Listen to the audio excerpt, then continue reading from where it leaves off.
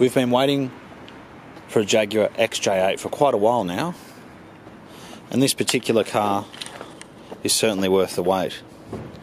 It's done just 82,000 kilometres since it was new, and it's got the 3.5 litre V8 petrol engine. The car is in absolutely stunning condition. As you can see, it's champagne with cream, leather interior, It's got parking sensors, navigation, a wood grain steering wheel, and a very, very good service history to it. It's also got the newer six speed automatic transmission. The condition right down to the wheels is very good. Look down the side here, can't see any dents, scrapes, scratches whatsoever. Someone's really loved this car. I think the next service is due at about 88,000 kilometres, so it's got at least another 6,000 kilometres before it needs a service. You can see the parking sensors there. It's got the nice big twin exhaust system. It really is a very nice colour. It's got two keys.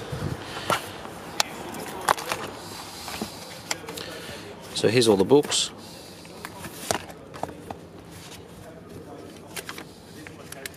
So you can see here it's gone to this K&C service repair centre. I think I've got about six or seven receipts from them.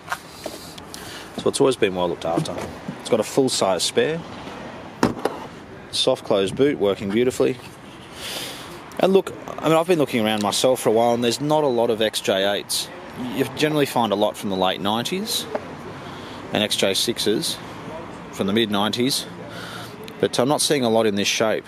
So we are very happy when this came along especially in this colour combination.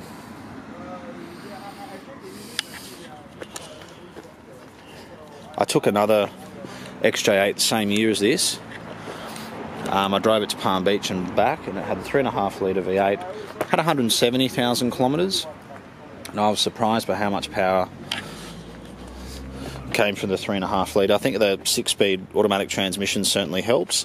For me, the 3.5 litre V8 is um, is somewhat similar to the older four litre V8, which was in the late 90s, and they made it up till about 2002. And also got a very good fuel consumption. I think from memory, I was getting around 13 litres per 100 k's when I was driving, which is pretty impressive for a car this size.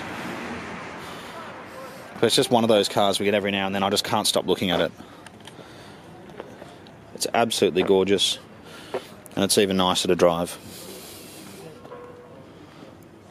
But if you've been looking for an XJ8, you've probably found a lot of them have done 200,000 kilometres or 150,000 kilometres. This is just 82,000 kilometres. Then uh, I'd certainly book an inspection to come and have a look and a drive of this car.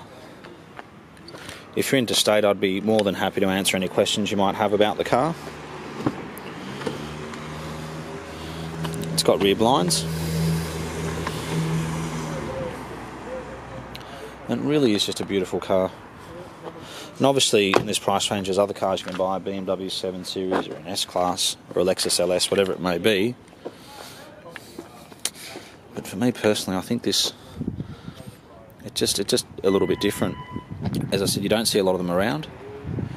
I think they're reliable, economical, and they look fantastic. But you do see lots of LS series and 7 series and S classes around, and you don't see a lot of XJ8s these days.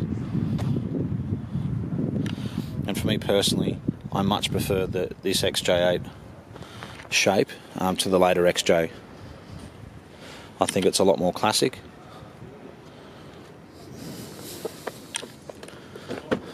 And um, I can see these down the track being quite desirable. There's the glove box navigation CD. Yeah, it's very, very nice.